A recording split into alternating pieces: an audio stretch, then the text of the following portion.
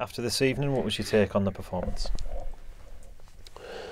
Um, well, take on the performance, not good enough really. Um, we knew what was to expect, we knew what was coming, and um, lacked a bit of creativity tonight. I think lacked um, lacked the knowledge to break them down and, and give two really soft goals away, which is. Uh, I say it's unlike us. We've we've lost a few soft goals of recent times, but um, yeah, we have to take it on the chin. You know, ultimately not good enough and didn't come with enough intensity, didn't come with enough, um, as I say, creativity, and um, yeah, credit to them for making life difficult for us.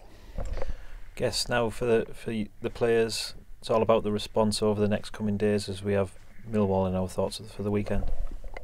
Yeah, that's always the case in football. There's always a game on the corner to try and put it right if you haven't won the previous one. So um, you know it's not easy, of course, to go to Millwall, but um, we will prepare them and um, we'll see if we can go to Millwall and, and get a positive performance and the right result. Just finally, the supporters this evening braved the cold temperatures to come and back the lads.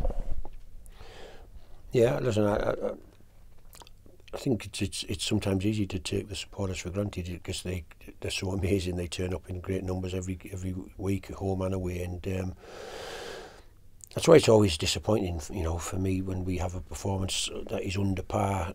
You know, the question always, the first question in the dressing room is why? What's you know, where was the intensity tonight? Where was the, the, the high quality? Where was the forward passing? Um, and the, you know, you could argue that they come and sit a lot of men behind the ball. It's very difficult to forward pass into a big pack of nine men waiting to to gobble up the forward passes, and so you have to be patient and try and draw them out. And so it, the perception is it was a bit slow across the back and stuff, but um, yeah, um, it was a difficult game for us. It's difficult to, to to break them down. We've you know it's not new for us to struggle to break teams down, and yet at home recently we've scored three in the last two home games, and so.